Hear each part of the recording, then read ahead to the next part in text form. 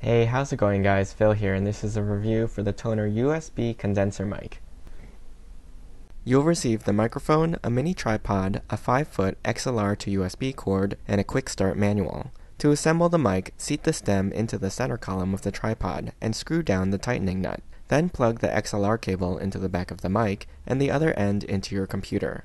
On a Windows PC, the drivers should be installed automatically. On top of the body of the mic, there's a volume dial. Turning the volume to the minimum will shut the mic off and you'll hear and feel a click. Scrolling towards the back of the mic turns the volume to the max. When assembled, the mic sits about 8 inches high and can be raised up to about 10 inches. The mic can be tilted for an upward angle or a downward angle. So let's do a quick sound test. I'll start with my lapel mic that I'm using right now, also from Tonor actually, just for comparison. The quick brown fox jumps over the lazy dog. Now with the Tonor mic. The quick brown fox jumps over the lazy dog. So as you may hear, the condenser mic sounds somewhat muffled in comparison to the lapel mic. It doesn't sound as clear and crisp, and to get it to pick up my voice at all, I have to be speaking very close and directly into it. If I try from a few feet away, the quick brown fox jumps over the lazy dog. You can barely hear my voice.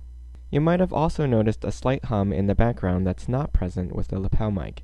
In general, does the mic work? Yes. Unfortunately, it isn't super convenient for shooting videos if you don't want your face to be covered by a microphone. It might work well for radio, podcasts, karaoke, or personal recordings. I hope you enjoyed this review. You can ask me any questions in the comments. I'll put a link to the product in the description below. Don't forget to subscribe to my channel, and join me next time.